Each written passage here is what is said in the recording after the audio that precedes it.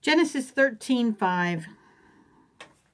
And Lot also, which went with Abram, had flocks and herds and tents, and the land was not able to bear them, that they might dwell together, for their substance was great, so that they could not dwell together. And there was a strife between the herdmen of Abram's cattle and the herdmen of Lot's cattle. And the Canaanite and the Perizzite dwelled then in the land. And Abram said unto Lot, Let there be no strife, I pray thee, between me and thee, and between my herdmen and thy herdmen, for we be brethren. Is not the whole land before thee? Separate thyself, I pray thee, from me. If thou wilt take the left hand, then I will go to the right, or if thou depart to the right hand, then I will go to the left. And Lot lifted up his eyes and beheld all the plain of Jordan, that it was well watered everywhere, before the Lord destroyed Sodom and Gomorrah, even as the garden of the Lord, like the land of Egypt, as thou comest unto Zoar. Then Lot chose him all the plain of Jordan. And Lot journeyed east, and they separated themselves, the one from the other. Abram dwelled in the land of Canaan, and Lot dwelled in the cities of the plain, and pitched his tent towards Sodom. But the men of Sodom were wicked and sinners before the Lord exceedingly. And the Lord said unto Abram, after that Lot was separated from him, Lift up now thine eyes, and look from the place where thou art northward, and southward, and eastward, and westward. For all the land which thou seest, to thee will I give it, and to thy seed forever and I will make thy seed as the dust of the earth, so that if a man can number the dust of the earth, then shall thy seed also be numbered. Arise, walk through the land in the length of it, and in the breadth of it, for I will give it unto thee. Then Abram removed his tent, and came and dwelt in the plain of Mamre, which is in Hebron, and built there an altar unto the Lord.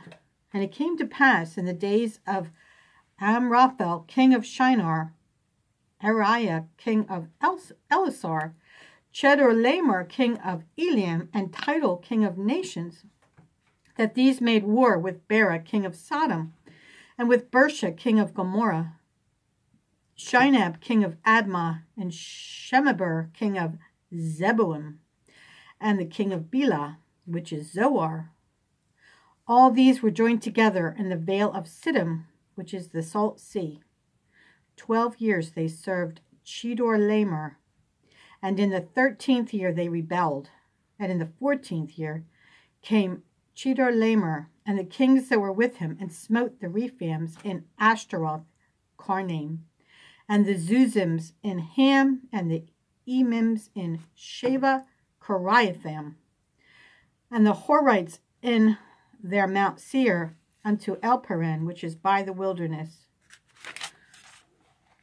And they returned and came to Enmishpat, which is Kadesh, and smote all the country of the Amalekites and also the Amorites that dwelt in Hazezon Tamar. And there went out of the king of and there went out the king of Sodom and the king of Gomorrah and the king of Admah and the king of Zeboiim and the king of Bela, the same is Zoar, and they joined battle with them in the vale of Siddim with Chedorlaomer, the king of Elam, and with Tidal, king of nations, and Amraphel, king of Shinar, and Arioch, king of Ellasar, four kings with five. And the vale of Siddim was full of slime pits, and the kings of Sodom and Gomorrah fled and fell there, and they that remained fled to the mountain. And they took all the goods of Sodom and Gomorrah, and all their victuals, and went their way. And they took Lot, Abram's brother's son, who dwelt in Sodom, and his goods, and departed. And there came one that had escaped, and told Abram the Hebrew, for he dwelt in the plain of Mamre, the Amorite, brother of Eshcol, and brother of Aner, and these were confederate with Abram. And when Abram heard that his brother was taken captive, he armed his trained servants, born in his own house, three hundred and eighteen, and pursued them unto Dan. And he divided himself against them, he and his servants, by night, and smote them, and pursued them unto Hobah, which is on the left hand of Damascus. And he and he brought back all the goods, and also brought again his brother Lot, and his goods, and the women also, and the people. And the king of Sodom went out to meet him after his return from the slaughter of Chedorlaomer, and of the kings that were with him at the valley of Shaveh, which is the king's dale. And Melchizedek, king of Salem, brought forth bread and wine, and he was the priest of the Most High God. And he blessed him and said, Blessed be Abram, of the Most High God, possessor of heaven and earth, and blessed be the Most High God, which hath delivered thine enemies into thy hand. And he gave him tithes of all. And the king of Sodom said unto Abram, Give me the persons, and take the goods to thyself. And Abram said to the king of Sodom, I have lifted up mine hand unto the Lord, the Most High God, the possessor of heaven and earth, that I will not take from a thread even to shoe latch it, and I will not take anything that is thine, lest thou shouldest say, I have made Abram rich, save only that which the young men have eaten, and the portion of the men which went with me, Aner, Eshcol, and Mamre.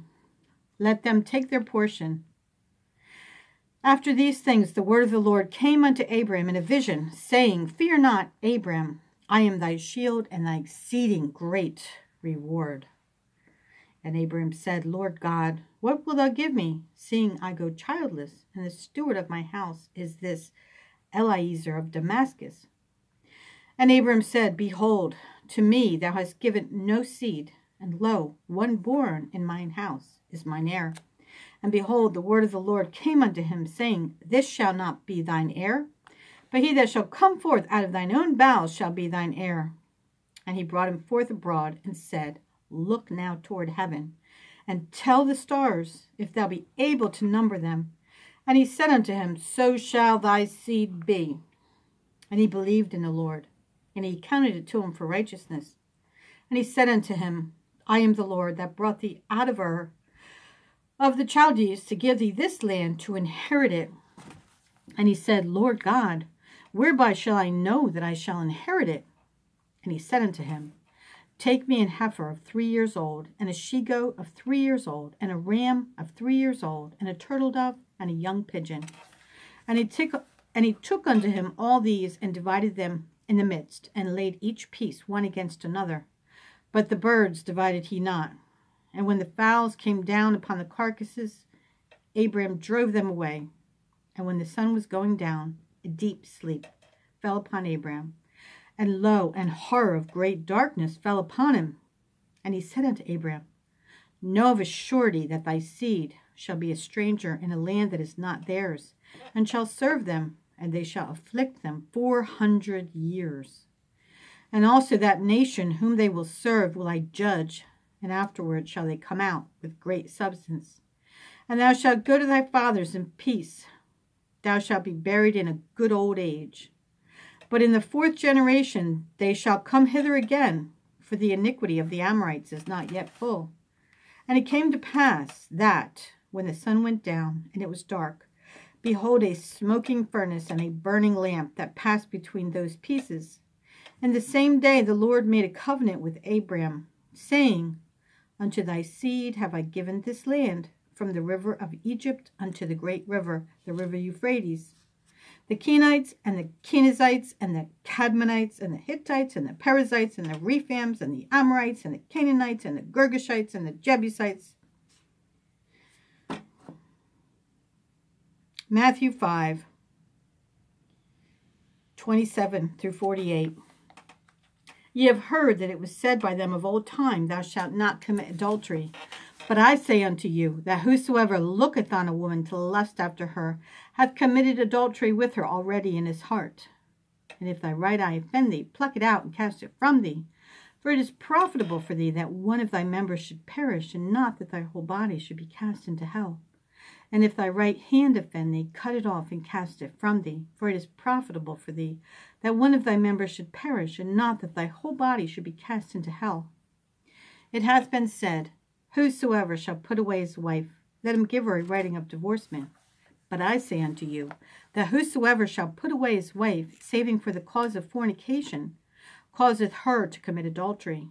And whosoever shall marry her that is divorced committeth adultery. Again ye have heard that it hath been said by them of old time, Thou shalt not forswear thyself, but shalt perform unto the Lord thine oaths. But I say unto you, swear not at all, neither by heaven, for it is God's throne, nor by the earth, for it is his footstool, neither by Jerusalem, for it is the city of the great king. Neither shalt thou swear by thy head, because thou canst not make one hair white or black.